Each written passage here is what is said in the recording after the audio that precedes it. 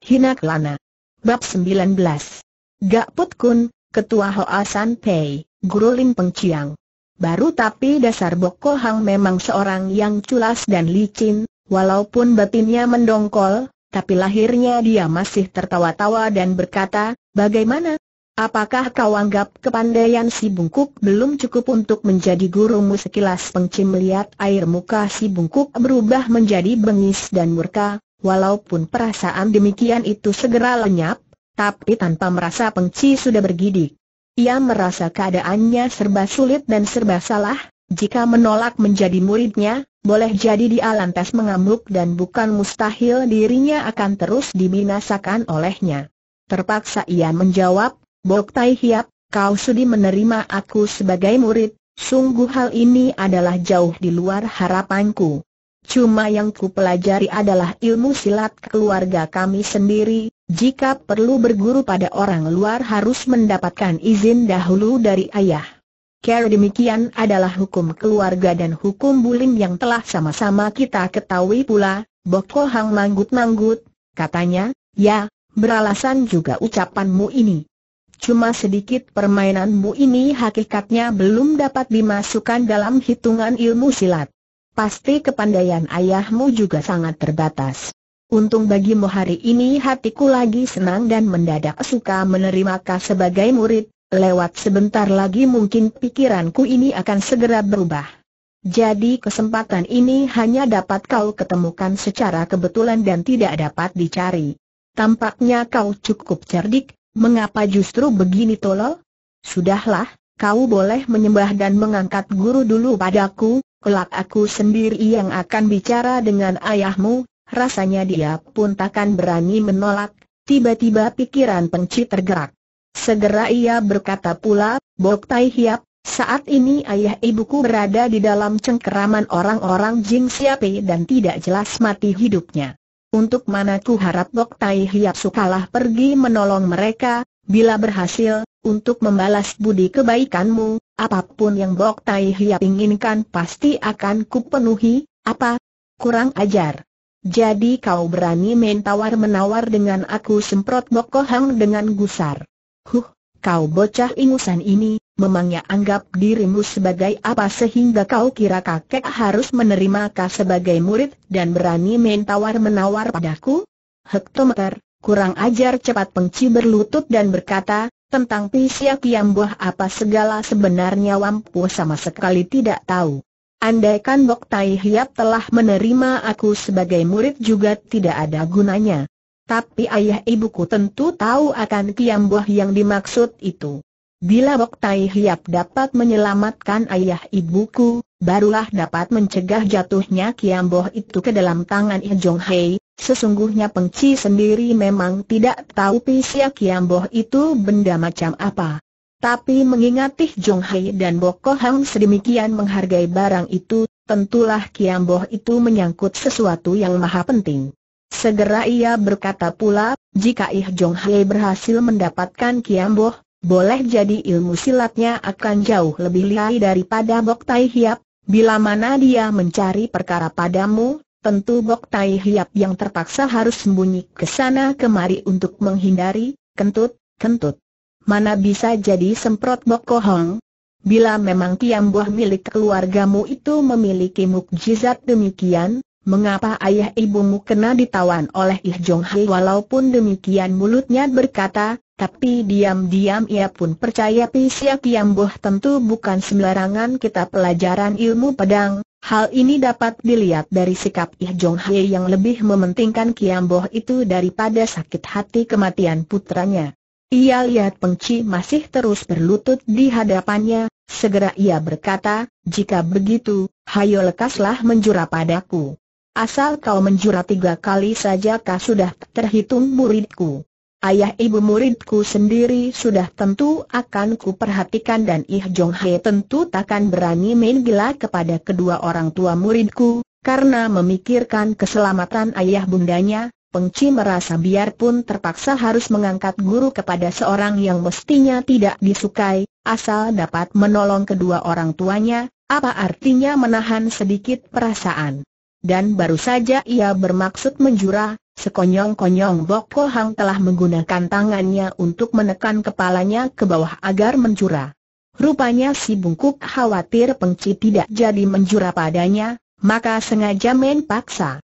Seharusnya pengci sudah akan menjura, tapi karena kepalanya ditekan ke bawah secara paksa, kontan timbul perlawanannya, ia justru bikin kaku lehernya dan enggan menunduk ke bawah. Hi, apakah kau tidak mau menjura bentak Bokohang dengan gusar? Segera ia tambahkan tenaga tekanannya. Dasar watak pengci memang tidak doyan kekerasan. Dalam usahanya menolong ayah ibunya mestinya ia sudah mau telan segala perasaan dan penderitaan dan akan menjura kepada Bokohong. Tapi sekali Bokohong main paksa, bukannya pengci menurut, sebaliknya ia malah melawan. Dengan suara keras ia menjawab, jika kau berjanji akan menolong ayah ibu, maka aku pun akan berjanji berguru padamu. Tapi saat ini tidak mungkin suruh aku menjura padamu. Hah, tidak mungkin jengek bokohong. Baik, ingin kulihat apakah benar-benar kau takkan menjura padaku habis berkata, kembali tenaganya bertambah kuat untuk menahan kepala pengci ke bawah. Sekuatnya pengci bermaksud menegakkan kepala dan berdiri, tapi tenaga tekanan Boko Hang terlalu kuat baginya sehingga mirip tertindih batu yang beribu kati beratnya, sampai-sampai kedua tangannya dipakai menahan di atas tanah, tapi tulang leher terasa berkeretekan seakan-akan patah dan tetap tak dapat berbangkit. Boko Hang terbahak-bahak, katanya, kau mau menjura atau tidak? Jika tanganku tambahi tenaga pula, tentu lehermu ini bisa patah, tidak. Aku justru tidak mau menjura teriak pengci dengan merah padam. Betul-betul tidak mau jengek Boko Hang sambil menahan lebih kuat, makin tekan makin ke bawah sehingga batok kepala pengci hampir-hampir menyentuh tanah. Pada saat itulah sekonyong-konyong pengci merasa punggungnya menjadi panas, ada suatu arus hawa hangat menyalur masuk ke dalam tubuhnya. Tiba-tiba daya tekanan di atas tengkuknya menjadi kendur, begitu kedua tangannya menahan tanah, seketika dia dapatlah berdiri. Kejadian ini benar-benar di luar dugaan pengci, bahkan Boko Hang juga terkejut. Sekilas itu si bungkuk itu lantas tahu bahwa tenaga hangat yang mematahkan daya tekanannya itu adalah Kun Goan Kang, semacam luakang berasal dari Hoa San Pei. Walaupun datangnya arus lekang itu sangat mendadak, dalam keadaan belum siap sehingga dirinya tergetar dan pengci sempat meronta berbangkit, tapi Kun Goan Kang itu jelas sudah sangat sempurna, bahkan tenaga susulannya masih terus membanjir tiba. Dalam kagetnya dengan cepat sekali tangan Boko Hang lantas menahan pula ke atas kepala pengci, bahkan sekali ini ia pun menggunakan semacam luakang yang mahalihai.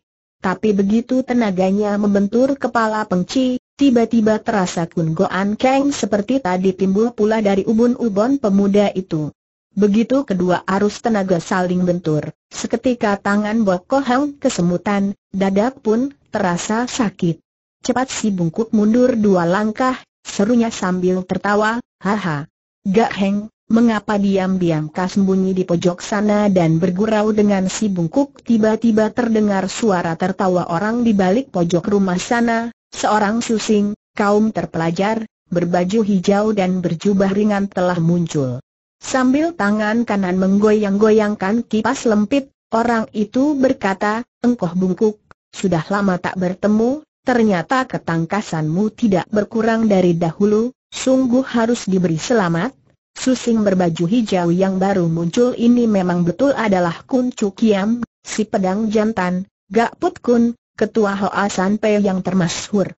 Biasanya Bok Ko Hang memang rada jeri terhadap ketua Hoa San Pei itu. Apalagi sekarang dia kepergok sedang memaksa seorang anak muda, keruan ia serba runyam. Tapi dasar dia memang orang yang licin dan tidak kenal malu, dengan cengar-cengir ia lantas menyapa, Gak Heng, Makin lama makin muda kau ini, sungguh si bungkuk ingin mengangkat guru padamu untuk belajar ilmu awet muda itu, hus, kau makin tua makin tak genah, semprot gelak putkun. Kenalan lama baru saja bertemu dan kau sudah mengoceh tak keruan, habis, usiamu mestinya sudah 60-70 tahun, mengapa mendadak muda kembali dan kelihatannya malah seperti cucu si bungkuk saja, ujar Boko Hang dengan tertawa. Ketika Boko Hang mengendurkan tangannya tadi, dengan cepat Pengci sudah lantas melompat bangun. Dilihatnya susing baju hijau itu berjenggot cabang lima, mukanya putih bersih dan berwibawa, seketika timbul rasa kagum dan hormatnya. Ia tahu orang inilah yang tadi telah menolongnya dari paksaan Boko Hong, setelah mendengar si bungkuk itu memanggilnya sebagai Gak Heng, saudara Gak, seketika pikirannya tergerak, apakah tokoh yang mirip dewa ini jangan-jangan adalah Gak Sian Sing, ketua Hoa San Pe yang sering disebut-sebut oleh orang banyak selama beberapa hari ini.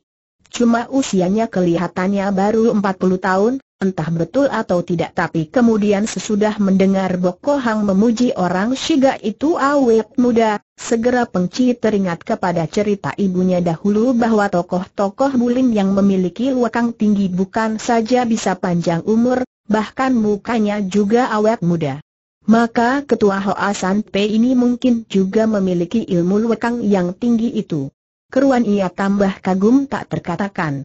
Dalam pada itu Gak Put Kun telah berkata dengan tersenyum, Bo Aheng, pemuda ini adalah seorang anak berbakti, juga punya jiwa kesatria, sungguh suatu bakat yang sukar dicari, pantas Bo Heng jatuh hati padanya. Padahal semua penderitaan yang menimpa dia itu adalah lantaran tempo hari dia telah membela keadilan dan menolong putriku Silengsian, maka sekarang terpaksa aku harus turun tangan juga, diharap suka memandang diriku, sukalah Bok Heng membebaskan dia saja, apa katamu Bok Ko Hang menegas dengan keheran-heranan. Hanya dengan sedikit kepandaian bocah ini saja dia mampu menolong keponakan perempuan si Lengsian? Aha, kukira ucapanmu itu harus dibalik, mungkin si darah jelita itulah yang telah Gak Put Kun tahu ucapan si bungkuk selanjutnya tentu adalah ucapan yang tidak enak didengar, maka cepat ia menyela, sesama orang Kangowa adalah jamak saling memberi pertolongan, membantu dengan bertempur mati-matian termasuk menolong, membantu dengan ucapan saja juga menolong, maka tak dapat memandangnya dari soal ilmu silatnya tinggi atau rendah. Bo Aheng, bila kau berkeras ingin mengambil pemuda ini sebagai murid, Memang paling baik kalau membiarkan dia minta izin dulu kepada ayah ibunya, dengan demikian kedua pihak menjadi sama-sama baiknya, Boko Hang sadar urusan hari ini bila Gak Put Kun sudah ikut campur, maka terang sukar terlaksanalah keinginannya. Segera ia geleng-geleng kepala dan menjawab, tidak.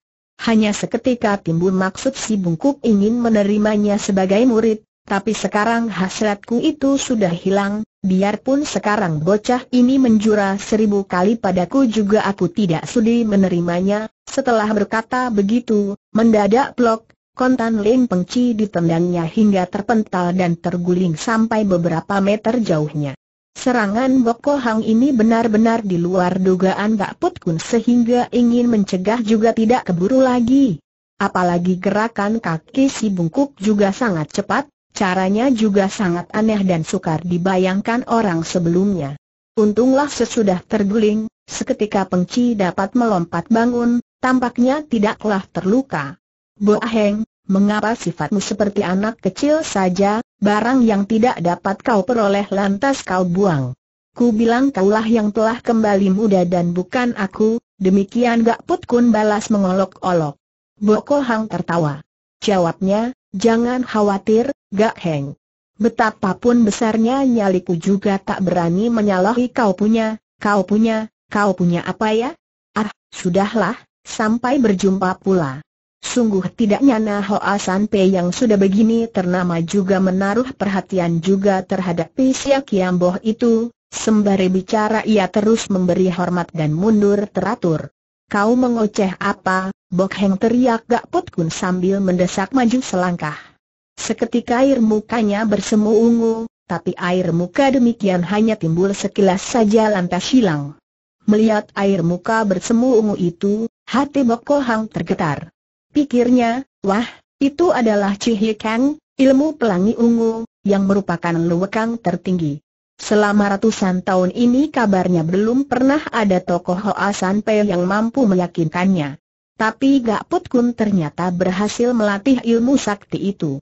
Wah, si bungkuk tidak boleh membuat marah padanya, tapi lahirnya dia tenang-tenang saja, ia masih cengar-cengir dan menjawab, entahlah, aku pun tidak tahu Pisya Kiamboh itu benda macam apa.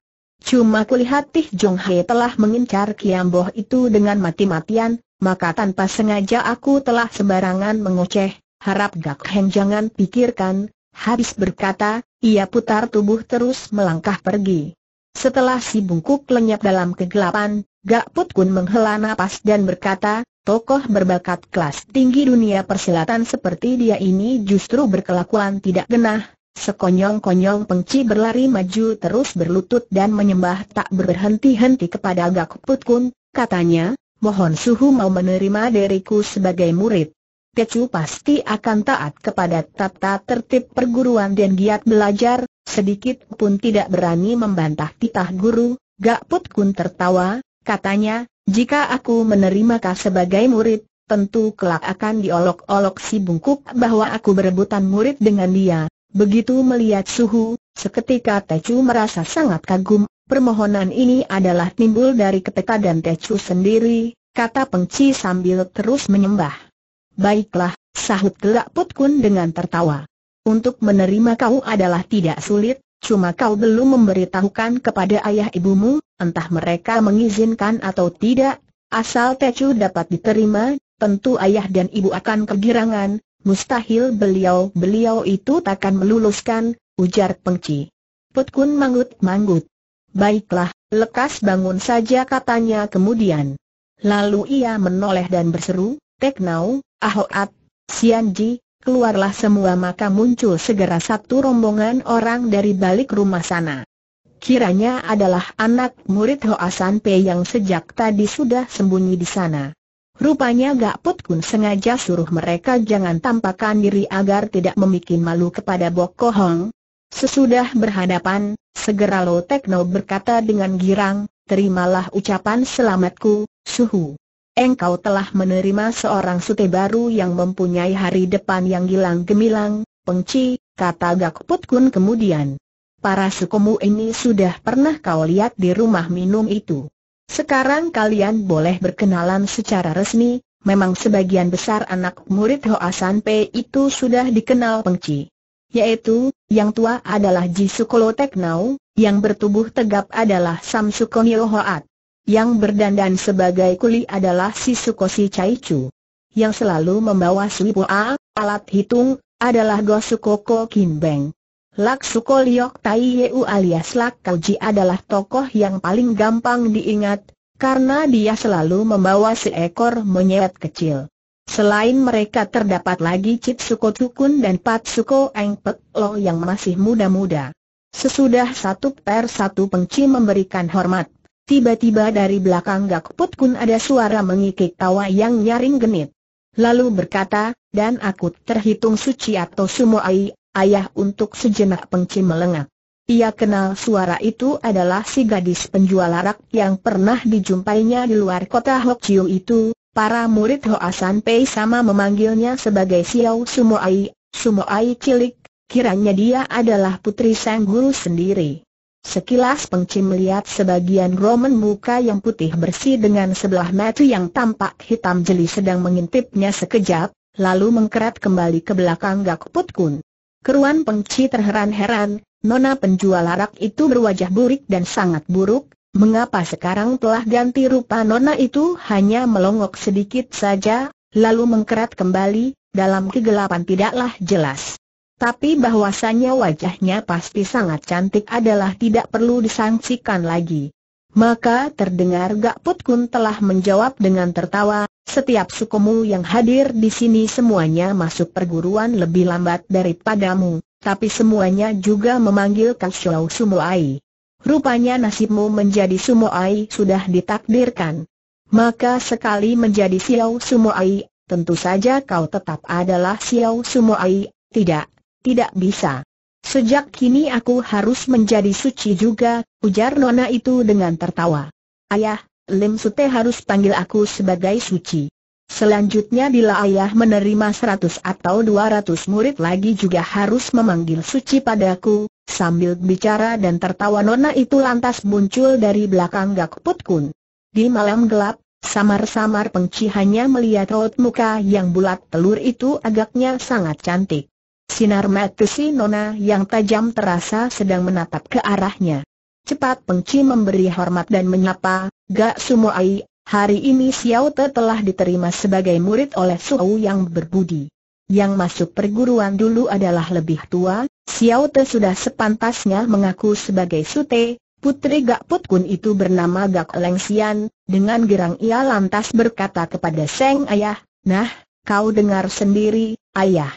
Dia sendirilah yang suka memanggil aku sebagai suci, tapi bukan aku yang memaksa dia, Lo orang baru saja masuk perguruan kita dan kau sudah bicara tentang paksa apa segala, jangan-jangan nanti dia akan menyangka setiap muridku akan sama seperti kau, yang tua suka memaksa yang muda, apakah kau takkan membuat takut padanya demikian kata Put Kun. Maka bergelak tertawalah para muridnya.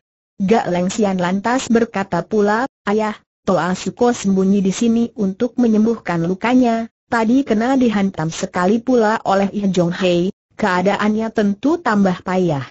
Hayolah lekas kita menjenguknya, dengan mengerut kening Dak Put Kun menggeleng kepala, katanya, bolehlah Kin Beng dan Cai Chu saja, kalian menggotong keluar Toa Sukomu, Ko Kin Beng dan si Cai Chu mengiakan berbareng, lalu melompat masuk ke dalam kamar melalui jendela. Tapi lantas terdengar seruan mereka, Suhu, Toa Suko tidak berada di sini, di dalam kamar juga, juga tidak ada orang, menyusul tertampaklah cahaya api, mereka sudah menyalakan lilin di dalam kamar. Dahi Gak Put Kun terkerut makin kencang. Dia tidak sudi masuk ke rumah pelacuran yang kotor dan hina itu. Maka katanya kepada Lo Teknau, coba kau masuk ke sana untuk memeriksanya, Teknau mengiakan dan mendekati jendela. Biar aku juga masuk ke sana untuk melihatnya, kata Leng Xian. Namun Gak Put Kun lantas menarik tangan putrinya itu sambil membentak, Hus! Tempat begini mana boleh sembarangan kau datangi karena cemasnya hampir-hampir Leng Xian menangis. Serunya khawatir, tapi, tapi Toa Suko terluka parah, mungkin dia, dalam keadaan payah, jangan khawatir, bisik Gak Put Kun dia telah dibubui obat Tian Hiang Toan Shoko dari Hing San Pei. Tidak nanti jiwanya berbahaya, Leng Xian menjadi girang-girang khawatir, katanya, Da, dari mana engkau tahu, ayah SSST, jangan ceriwis Put Kun mendesis. Kiranya dalam keadaan terluka parah dan kesakitan, namun pikiran Leng Ho Tiong masih cukup sadar. Ia dapat mengikuti suara pertengkaran antara Boko Hang dan Ih Jong Hei dan kemudian orang-orang itu pergi satu per satu dan akhirnya didengarnya suhunya sendiri telah datang.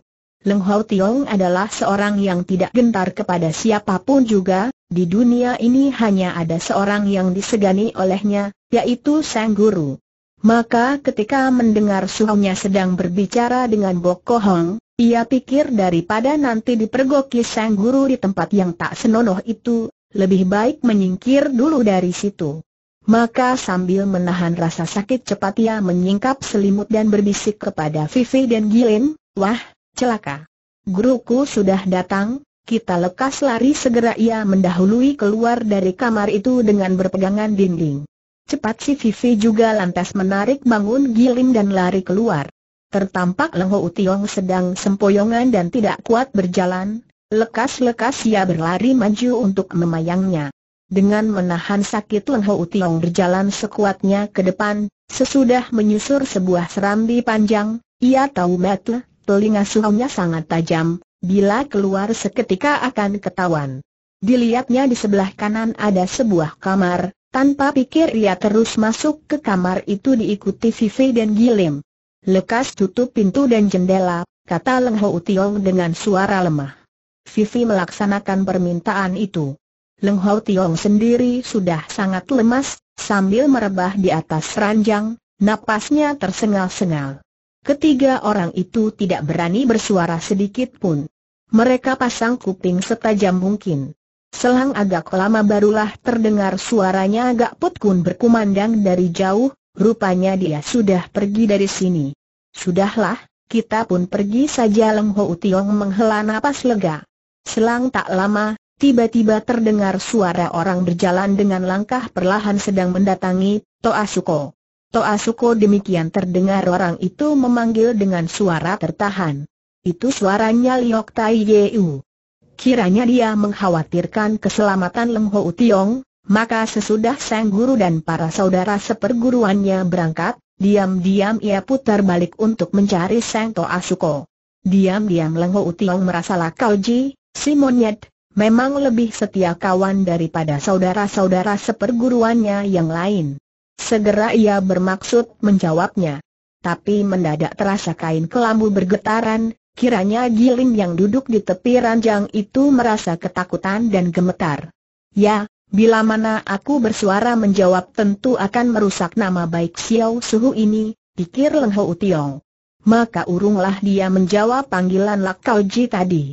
Terdengar Liok Tai Yeu berjalan lewat di luar jendela sambil memanggil terus dan makin lama makin menjauh dan akhirnya suaranya tak terdengar lagi. Hi, Leng Ho Tiong, kau akan mati atau tidak tiba-tiba Vivi bertanya. Masa aku akan mati? Jika aku matikan akan membuat rusak nama baik Hing San Pei, sahut Leng Ho Tiong. Sebab apa tanya Vivi heran. Lukaku telah dibubui obat mujarab keluaran Hing San Pei, jika tak bisa sembuh, bukankah aku Leng Ho Tiong akan merasa sangat menyesal terhadap terhadap Xiao Suhu dari Hing San Pei ini kata Leng Ho Tiong. Dalam keadaan terluka toh pendekar muda itu masih sempat berkelakar, diam-diam Gilim kagum kepada ketabahannya. Segera ia pun berkata, Leng Ho Uto Ako, kau telah kena dipukul pula satu kali oleh Iko Anzu itu. Coba kulihat keadaan lukamu, mestinya Leng Ho Utiong hendak bangun, tapi telah dicegah Vivi. Melihat pakaiannya berlepotan darah, Gilim tidak sempat memikirkan lagi pantangan antara laki-laki dan perempuan, segera ia membuka baju Leng Ho Tiong, lalu mengambil sebuah baskom di samping sana, dengan sepotong handuk untuk membersihkan darah di tempat luka itu, lalu membubui pula dengan obat Tian Hiang Toan Shoko. Wah, obat sebaik ini kan sayang dihabiskan untuk lukaku ini, kata Leng Ho Tiong dengan tertawa. Ah, Janganlah Leng Ho Uto aku berkata demikian, sahut Giling dengan malu-malu. Atas pertolonganmu, sampai-sampai suhuku juga memuji akan jiwa kesatriamu. Puji sih tidak perlu, asal beliau tidak mendamprat aku saja aku sudah banyak terima kasih, ujar Leng Ho Utiong dengan tertawa. Mana bisa beliau mendamprat padamu kata Gilim. Leng Ho To aku, engkau harus istirahat dulu supaya lukamu tidak pecah pula, dengan demikian tentu akan cepat sembuhnya, Enci Gilin, tiba-tiba Vivi menyela, silakan engkau menjaganya kalau-kalau ada orang jahat datang lagi. Kakek tentu sedang menunggu, aku harus lekas-lekas pulang, tidak, tidak jangan. Mana boleh aku tinggal sendirian di sini seru Gilim. Bukankah Leng Ho Tiong juga berada di sini? Masakah kau bilang sendirian ujar Vivi dengan tertawa. Lalu ia putar tubuh dan hendak melangkah pergi. Jangan pergi cepat Giling berseru pula. Namun Vivi sudah lantas melayang keluar jendela sambil mengikik tawa. Ginkang darah cilik itu sangat hebat, Giling merasa tak mampu mengejarnya. Dengan cemas dan gelisah ia putar balik ke depan ranjang dan berkata, Wah, Leng Ho Uto aku, dia, dia sudah pergi tapi waktu itu kekuatan obat sedang bekerja, Leng Ho Tiong dalam keadaan sadar tak sadar sehingga tidak menjawabnya. Saking bingungnya Gilim menjadi gemetar. Selang agak lama barulah ia dapat tenang kembali, cepat ia menutup jendela. Pikirnya, aku harus lekas-lekas pergi dari sini atau tidak? Apa jadinya bila ada orang melihat aku berada di sini berduaan dengan Leng Ho Uto aku? Tapi, tapi lukanya begini parah, Biarpun seorang anak kecil saja sudah cukup untuk membunuhnya, mana boleh aku meninggalkan dia di sini dalam kegelapan hanya terdengar di lorong yang sunyi itu terkadang ada suara anjing menggonggong, selain itu keadaan hening lelap. penghuni rumah pelacuran itu sudah kabur semua, ia merasa di dunia ini seakan-akan tertinggal Leng Ho Tiong seorang saja yang berada di atas ranjang, lain tidak. Sambil duduk di atas kursi, sedikit pun Gilim tidak berani sembarangan bergerak. Selang agak lama, mulai terdengarlah suara ayam berkokok, Fajar sudah hampir tiba. Gilim menjadi kelabakan, pikirnya, jika hari sudah terang, tentu akan ada orang datang ke sini. Wah, lantas bagaimana baiknya sejak kecil dia sudah cukur rambut dan menjadi nikoh di bawah asuhan Ting Yat Sutai, maka sedikit pun tiada pengalaman apa-apa. Dalam keadaan bingung sekarang ia tambah tak berdaya. Tiba-tiba terdengar suara orang berjalan, ada tiga empat orang sedang mendatangi dari ujung gang sana. Dalam keadaan sunyi senyap suara langkah orang-orang itu menjadi terdengar sangat jelas. Sampai di depan rumah pelacuran itu, orang-orang itu lantas berhenti. Terdengar seorang di antaranya berkata dengan suara perlahan, kalian berdua periksa sebelah timur sana, kalian berdua akan menggeledah sebelah barat. Jika ketemukan Lem Ho Tiong harus ditangkap hidup-hidup. Dia terluka parah, tidak nanti bisa melawan kita, Memangnya Gilim sudah khawatir, didengar pula kedatangan orang-orang itu hendak menangkap Leng Ho Tiong, keruan ia tambah takut. Sekilas timbul suatu pikirannya, betapapun aku harus menyelamatkan Leng Ho To aku, dengan tekad demikian itu, rasa takutnya lantas lenyap, pikirannya menjadi jernih kembali. Cepat ia mendekati ranjang, ia gunakan selimut untuk membungkus rapat tubuh Leng Ho dan dipondongnya, lalu perlahan-lahan membuka pintu dan menyelinap keluar.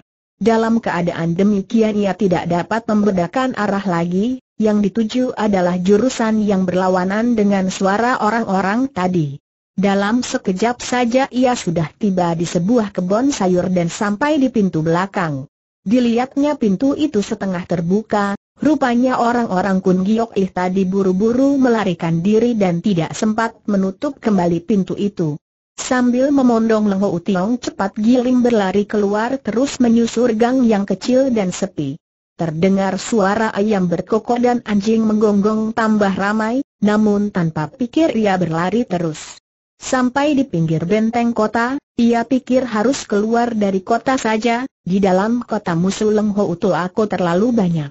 Segera ia menyusur dinding benteng, tidak lama kemudian, tertampak belasan orang desa bergegas-gegas lalu dengan memikul sayur, rupanya adalah tukang-tukang sayur di sekitar kota yang tiap hari berjualan di pasar. Sambil menunduk giling bersimpang jalan dengan tukang-tukang sayur itu. Sampai di pintu kota, cepat sekali ia berlari keluar. Tatkala itu hari masih remang-remang, prajurit penjaga tidak sempat bertanya, tahu-tahu Gilim sudah berlari pergi cukup jauh. Sekaligus Giling berlari-lari sampai beberapa li jauhnya, yang dituju selalu tanah pegunungan yang sepi. Sampai akhirnya ia telah berada di suatu gua. Setelah perasaannya agak tenang, ia coba menunduk memandang Leng Ho Tiong. Ternyata pemuda itu sudah sadar dan sedang tersenyum padanya. Melihat wajah yang tersenyum-senyum itu, Gilim menjadi gugup, tangannya menjadi lemas, Hampir-hampir saja ia lepaskan tubuh yang dipondongnya itu. Namun tidak urung ia pun terhuyung-huyung ke depan. Kau sudah lelah, Xiao Sumuai. Silakan mengasuh saja dulu, kata Leng Ho Tiong. Gilim mengiyakan. Perlahan-lahan ia menaruh Leng Ho Tiong di atas tanah. Ia sendiri pun tidak sanggup berdiri lagi, terus saja ia menjatuhkan diri berduduk dengan napas terengah-engah. Selang sejenak barulah ia bertanya, bagaimana keadaan lukamu? Leng Ho aku sekarang sudah tidak terasa sakit lagi, semuanya ini berkat obatmu yang mustajab itu, puji Leng Ho Tiong. Habis ini mendadak ia menghela napas, katanya pula dengan menyesal, cuma sayang aku terluka parah sehingga kena dihina oleh kaum keroco, bahkan hampir-hampir saja kenyang disiksa oleh kawanan keparat dari Jing Siape itu bila aku kena diketemukan mereka tadi, kiranya engkau telah mengikuti semua kejadian tadi Gilim menegas. Demi teringat dirinya tadi memondongnya sambil berlari-lari sekian lamanya, entah sejak kapan pemuda itu sudah sadar dan telah memandang padanya, Tanpa merasa wajah Gilim menjadi merah. Leng Hao Tiong tidak tahu mengapa Nikoh jelita itu mendadak merasa malu. Disangkanya mungkin terlalu lelah. Maka katanya, Sumoai, harap kau duduk tenang dan menjalankan pernapasan secara teratur supaya tidak terluka dalam, Gilim mengiyakan. Lalu ia duduk bersila dan mengatur pernapasan sambil pejamkan mata. Akan tetapi perasaannya menjadi gelisah, betapapun sukar tenang lagi. Hanya sebentar saja ia lantas membuka mata dan melirik ke arah Leng Ho Tiong. Begitulah sebentar-sebentar ia membuka mata dan memandang pemuda itu untuk melihat apakah lukanya ada perubahan atau pemuda itu apakah sedang mengintip padanya. Ketika pandangan ketiga, kebetulan Leng Ho Tiong juga lagi menatap padanya. Keruan ia terkejut. Sebaliknya Leng Ho Tiong lantas terbahak-bahak. Ada, ada apa kau tertawa tanya Giling dengan kikuk. Kau masih terlalu muda, belum sempurna latihanmu bersemadi sehingga sukar memusatkan pikiran, kata Leng Ho Tiong dengan tertawa. Sudahlah, kau jangan khawatir. Tenagaku sudah mulai pulih kembali. Andaikan orang-orang Jing Siape itu menyusul kemari juga kita tak perlu takut lagi. Tentu aku akan suruh mereka merasakan, merasakan gaya belibis jatuh dengan pantat menghadap ke belakang, sudahlah, engkau jangan banyak bicara lagi, silakan mengasuh saja, kata Gilim. Wah, sesungguhnya aku ingin sekali bisa segera berbangkit dan berkunjung ke rumah Lo Susyok untuk melihat keramaian, kata Leng Ho Tiong. Guruku sampai datang sendiri, ku yakin pasti akan terjadi sesuatu yang gawat, melihat bibir pemuda itu sampai kering, matanya cekung, Gilim tahu dia tidak sedikit kehilangan darah dan perlu diberi minum sebanyak mungkin. Maka ia lantas berkata, biarlah ku pergi mencari air.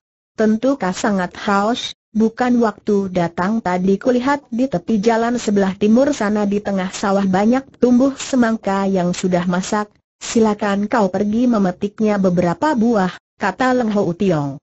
Baiklah, sahut Gilim sambil berbangkit. Tapi ketika meraba saku, ternyata tiada sepeser pun. Segera katanya pula, apakah engkau ada uang? Leng Ho aku untuk apa tanya Leng Ho Tiong heran. Buat beli semangka buat apa beli?